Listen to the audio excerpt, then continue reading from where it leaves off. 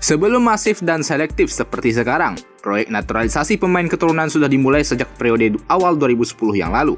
Jelang SEA Games 2011 di Jakarta, Timnas Indonesia pernah menyeleksi banyak pemain keturunan buat proyeksi Timnas Indonesia U23. Terdapat banyak nama-nama keturunan yang sempat diseleksi ketika itu, seperti Diego Michels, Ruben Warbanaran, Stefano Lillipali, Joy Suk, Jordi Decat, James Zaidan, Andre Witar, hingga Vincent Parto Subroto. Namun, dari sekian banyak nama, hanya Diego Michel yang kala itu masuk ke skuad SEA Games 2011. Kini, Michels dan Stefano Lillipali lah pemain yang masih bertahan di sepak bola nasional. Sisanya, nama-nama tersebut hilang dari peredaran.